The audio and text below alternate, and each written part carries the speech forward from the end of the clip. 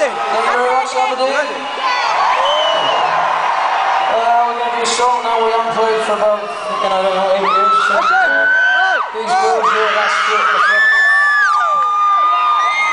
And this is the only thing we can do to stop them following us everywhere. A song called T-shirt Suntan.